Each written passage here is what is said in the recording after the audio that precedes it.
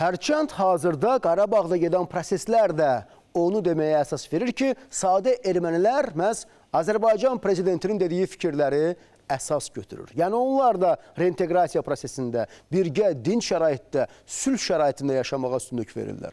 Və bugün Xankəndidə yalnız saxta rejimin keçmiş Təhlükəsizlik Şurasının sədri Samvel Babayan bir qədər layal görünməyə çalışır. Arayik Harpçunyan el İranç mekna, İrançiç mekna.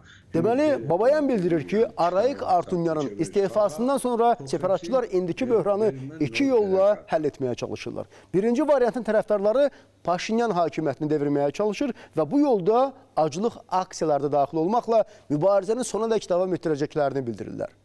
İkinci variantı dəstəkləyənlər isə Bakı ilə dialoqa, kompromisə və qarşılıqlı etimadın bərpasına açıq çağırışlar edirlər.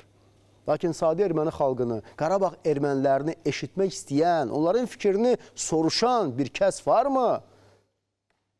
Təəssüflər olsun ki, xeyr.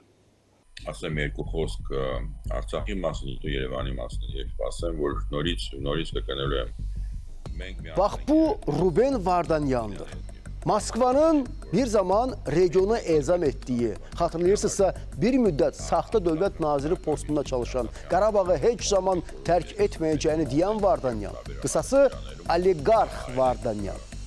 Erməni diasporunun əsas maliyyə dayaqlarından biri olan bu gavur Bakı ilə istənilən təması Qarabağın itirilməsi kimi dəyərləndirir. Və ona görə də reinteqrasiya üzrə dialoqun baş tutmaması üçün milyardlar xərcləyir.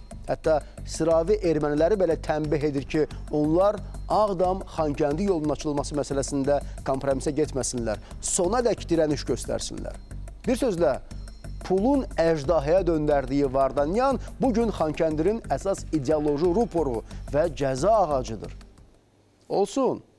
Amma Vardanyan bir şeyi bilsin ki, Azərbaycan ordusu Xankəndi separatçılarını təmizləməyə başladığı gün Vardanyan faktoru da tam olaraq aradan qalxacaq.